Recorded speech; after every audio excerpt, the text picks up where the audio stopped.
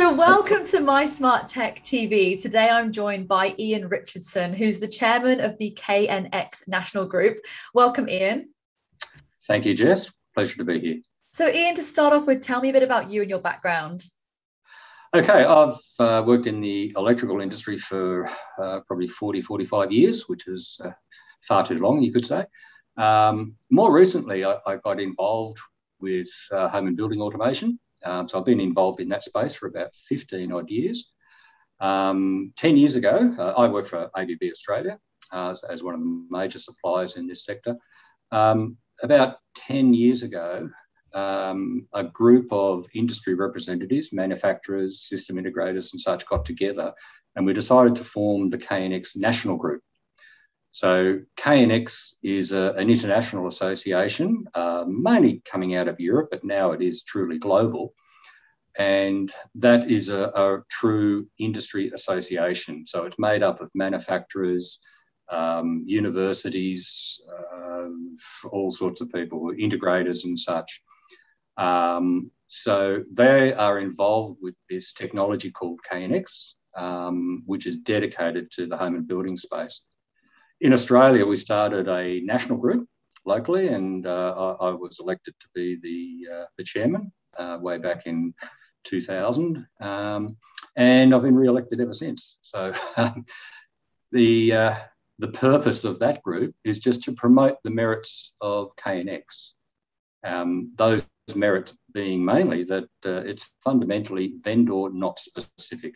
So it means no particular manufacturer owns the technology. It's controlled by the association, and that means there's free access to everybody.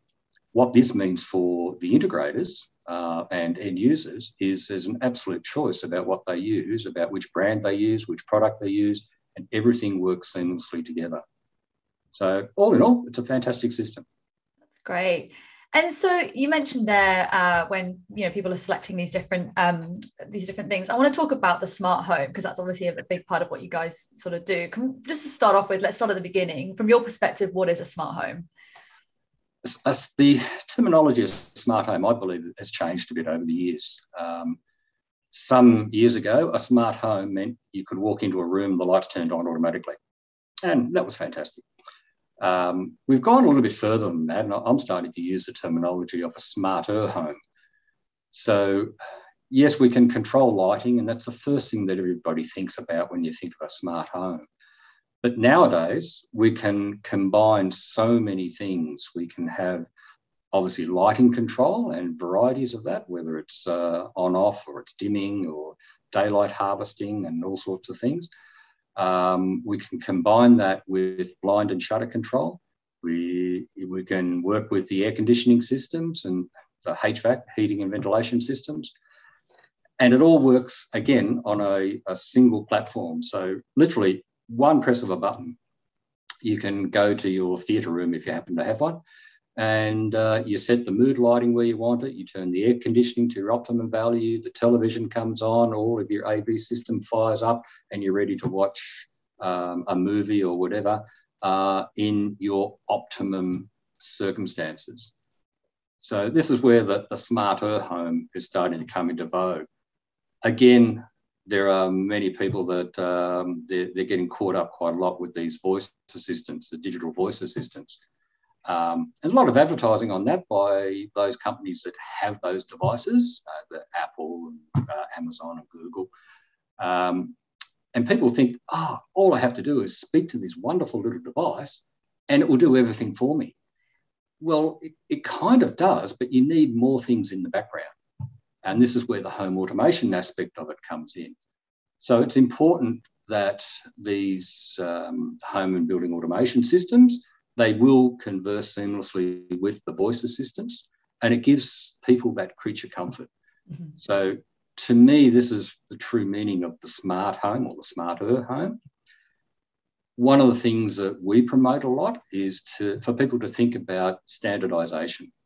So if you've got multiple manufacturers, you've got multiple voice assistants and, and anything that you want, it all operates on the same platform. And this is really what KNX is. It's a standardized platform. Different manufacturers work with that. I, I mentioned at the beginning, I worked for one of the companies, ABB. Um, we've got a big suite of products which is designed to work with KNX. There's 500 manufacturers that all produce product for this KNX system. So the choice comes back then to the homeowner, the integrator, exactly which product they want to use, which features they're looking for, which price point they want, which is obviously important.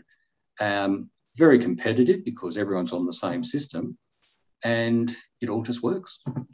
That's the beauty of it. Yeah, that's great. And I guess, yeah, if people were kind of not having that, um, you know, not using a platform like KNX, then it could get quite confusing and things wouldn't be necessarily maybe working well together. Is that kind of uh, you, you, could do a Google search now, and there's there's a multitude of so-called home automation suppliers out there. Mm-hmm. Great, uh, um, it makes it for a very competitive landscape, which is good for the end user. What you've got to think about is, well, how long are these companies going to be around? Um, if they're not based on a standard, they could be here for another 30 years. They might not be. Whereas if a if the technology you're using is based on a standard, whether a company comes and goes, the standard will always be there. So there will always be options that you can add. Um, to put that to the test, um, this standard was introduced around about 1999. Um, it became an international standard in 2006. But there are systems that have been installed way back in the early 2000s that you can come along with a product with 2021 technology and put it on the same system because it's standardized. Mm-hmm. Now, there's not many uh, protocols that would allow you to do that. Mm-hmm. So the backward compatibility is there. Therefore, forward compatibility is there. Mm-hmm. So back in the day, um, touchscreens were barely thought of. You know, it's, it's all science fiction stuff. Um, now you can have a multitude of touchscreens to operate your home automation and it all will go onto a system that was installed 20, 30 years ago. So they're the benefits of it. Taking to the next level, the smart home to, to us would uh, then become part of a smart neighbourhood, a smart suburb, and the smart city. Everyone's talking about smart cities these days. And part of that issue is, is if all the buildings in a city are operating on the same system, that means you can integrate them far more easily. So that common platform is really important as far as we're concerned. And in, in an industry like this, where it is so um, advanced and, and, and you know rapidly growing, do you find that the standards and the protocols are changing rapidly as well, or are they kind of quite? There, there's different things coming in. Um, so far, um, since 2006, there's only been one building automation standard, um, and that's the one that KNX complies with. So that's why so many manufacturers around the world have jumped onto this particular standard, and, and we've got this compatibility. We have uh, in the lighting industry, for example, we have um, a DALI control system, not so much used in homes, but in larger commercial premises. Um, and that's become their pseudo standard for, for that lighting control.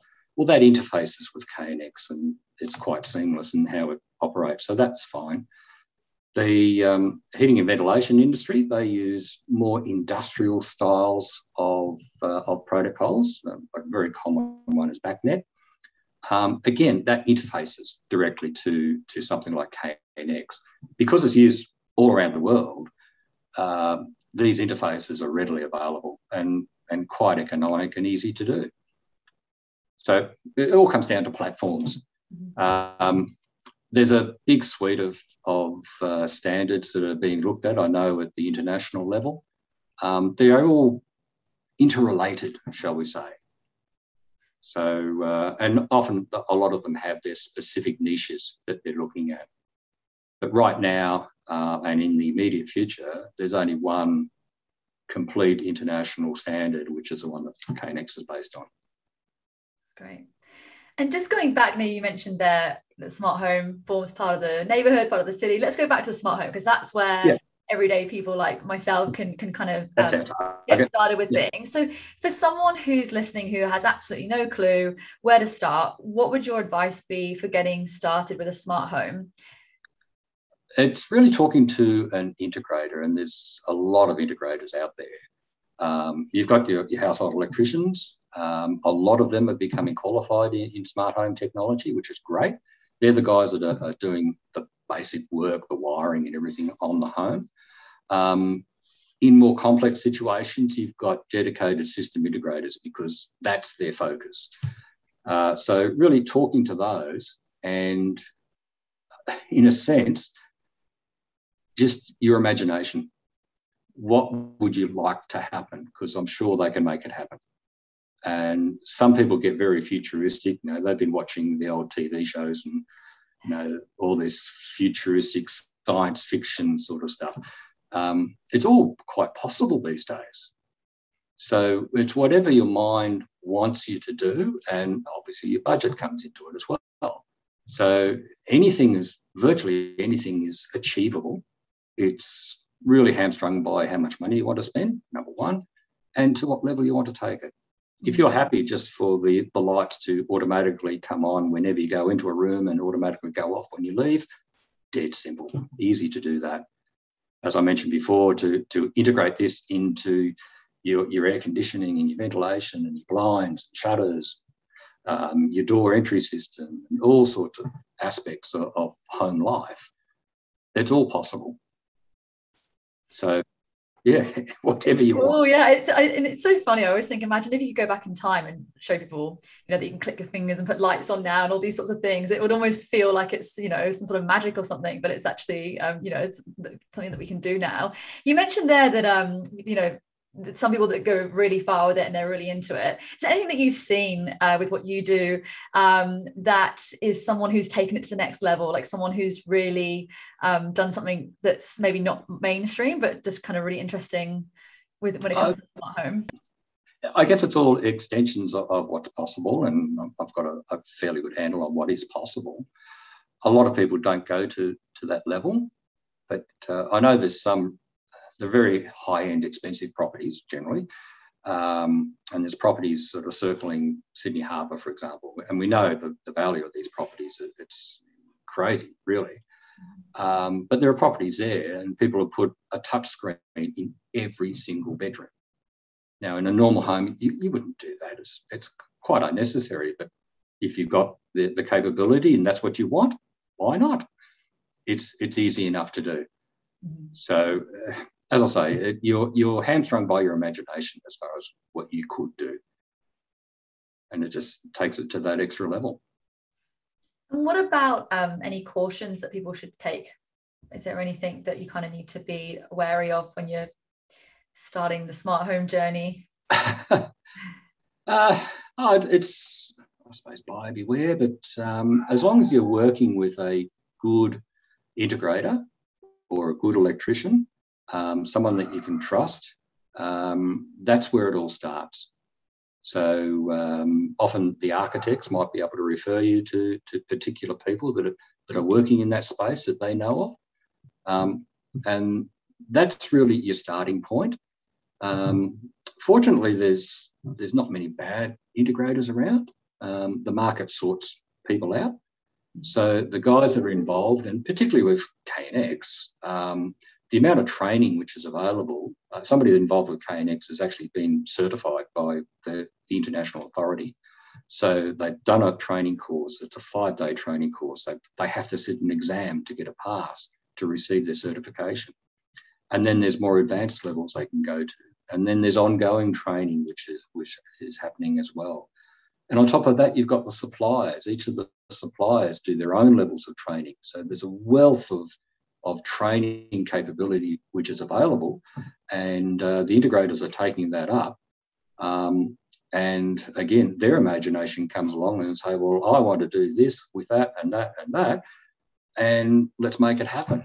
And they they they're the ones that can suggest some some mind blowing uh, experiences for a, a person's home. Uh, they've got the experience, they've got the knowledge, and they can do it.